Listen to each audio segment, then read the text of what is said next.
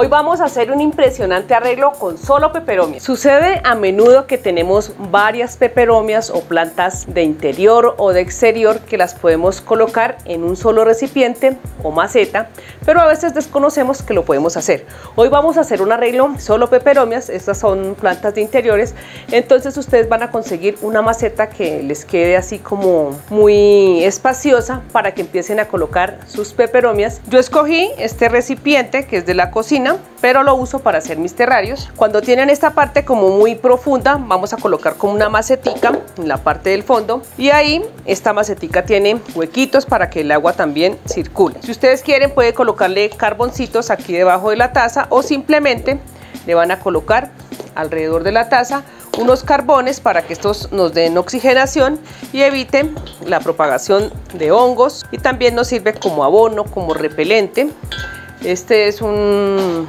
carbón después de usar de la parrilla o antes como ustedes quieran hacerlo. Ya colocamos acá, vamos a traer nuestro sustrato para empezar a acomodar nuestro terrario. Les comparto que todas estas peperomias que yo tengo acá son de mi colección y las tengo hace de varios años y las estoy empezando a agrupar porque ya no tengo espacio. Esto les comparto cuando ustedes no tengan mucho espacio y se y se hayan vuelto coleccionistas, simplemente arman terrarios y esto nos ayuda a economizar espacio. Vamos a rellenar así y luego sí vamos a colocar nuestras peperón. En el orden que ustedes quieran, si ustedes las quieren combinar, hay algunas con colores muy bonitos. Vamos a colocar esta planta que es la peperomia sandía. La vamos a colocar de esta manera, le vamos a hacer como un hoyito para que no nos quede tan, tan alta. Y la idea es que nos quede así como de lado para que esto nos empiece a dar un, un toque. Vamos a empezar así. Si por decir algo, la maceta que ustedes le colocaron en el centro les queda muy alta, entonces simplemente la quitan y ponen una más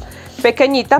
En este caso la voy a quitar porque no me da espacio para colocar la planta. A veces hay unas plantas que son súper pequeñitas y con esto nos vamos ayudando con la tacita. Y si no, pues no importa, simplemente la quitan y van acomodando sus plantas. Listo, acá ya empezamos a acomodar nuestra planta. Vamos girando, girando y vamos a ir colocando las otras plantas. Esto lo hago a menudo para las personas que me han escrito que se han vuelto coleccionistas y no tienen espacio, simplemente van a ir colocando estas peperomias así de ladito y listo. Van a ir rellenando con su sustrato, este sustrato debe tener abono. Si ustedes ven que al sacar la planta tienen cochinilla en el sustrato, le tratan de quitar un poquito la cochinilla y le van a colocar fungicida o si no, alcohol al 70%. Bueno, ahí vamos, vamos a seguir rellenando esta parte. Bueno, acá vamos a colocar una de este color, miren lo hermosa, esta tiene unas flores, unas espigas muy bonitas. Cuando florece tiende a tener un color como más verdoso. Esta en lo personal a mí me gusta porque es una que prende bastante fácil, se ramifica mucho, mucho hacia los lados y la he tenido que cambiar de maceta varias veces. Cuando yo la compré, la compré en una macetica súper pequeñita, era como una P7 y de ahí fue creciendo fácil y rápido. Acá vamos a colocarle esta rojiza, esta también es muy bonita, no me ha dado flores todavía. Acá la vamos a colocar de esta manera. Les recuerdo que si ustedes las quieren tener súper apretaditas, lo pueden hacer. Yo las pongo en este orden para que no se me queden tan justas por la humedad. Si la vamos a tener en exteriores, no tienen por dónde ventilar. Bueno, acá vamos a dejar esta así. Y luego vamos a irle rellenando. También pueden usar piedritas, las que ustedes quieran. Vamos a ir a colocar otra en esta parte. Vamos a colocarle esta morada. Esta tampoco ha florecido. A esta le encanta un poquito más al sol que las anteriores. Vamos a colocarla por acá y así va tomando forma nuestro, nuestro arreglo.